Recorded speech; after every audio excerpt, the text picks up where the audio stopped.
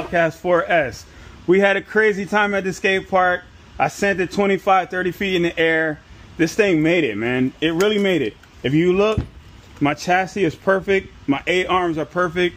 Wheel hubs, everything looks great. Front bumper, rear bumper, even my shock towers look great.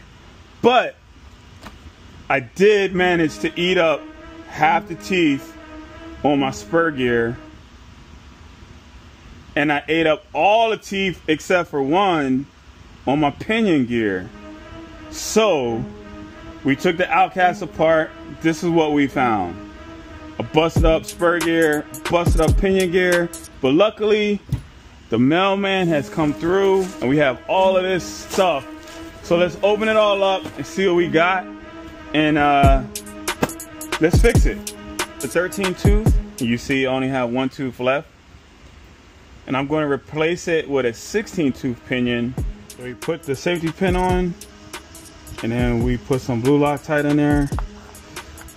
And we tighten that thing all the way down. Blue Loctite in the motor mount.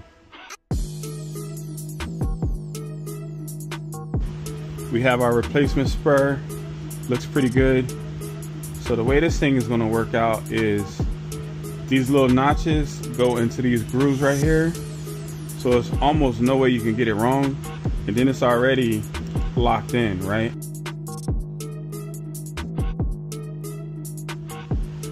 now I just gotta fit this in here. With this motor, it came stock with a 13 tooth and I upgraded to a 16 tooth. It's probably gonna be about as much as we can handle um, with heat and temperature and all. Have to clean out the cover because this thing was full of shrapnel from all of the teeth that was broken off. They were just laying inside. I think I counted a total of 42 that came off the Outcast 4S pinion and gear, spur gear. Wow. Fix it. Five screws. Going here like so.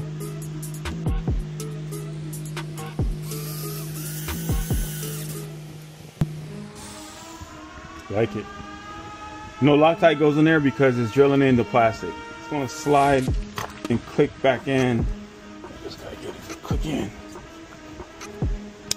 Like that. It slide this push plate back in here. See the hole? That hole is going to, as a matter of fact, the long screw from the bottom comes through there and locks into this.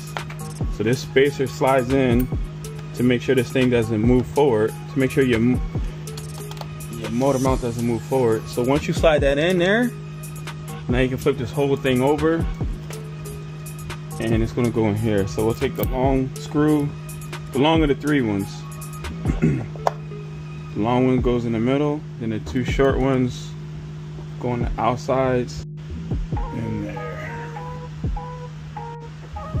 Perfect. So now we hook all this stuff back up.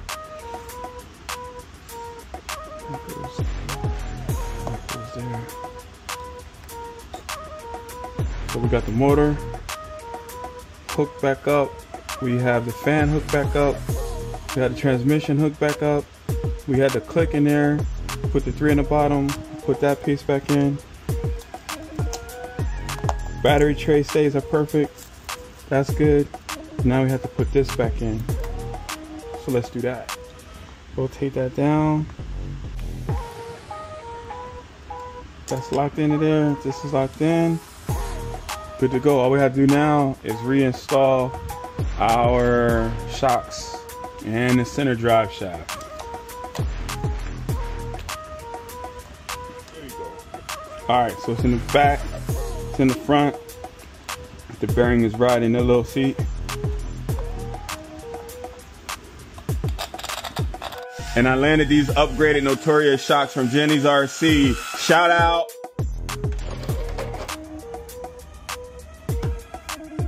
Track, start, picking it up. Let's see what we got.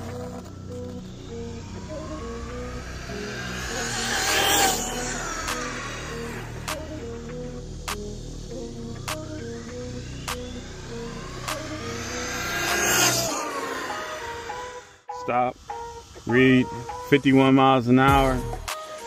Hey, I would really love to hear from you guys. Leave a comment in the section down below. Use the affiliate links to really help the channel. And don't forget, tell a friend to tell a friend, frumba57.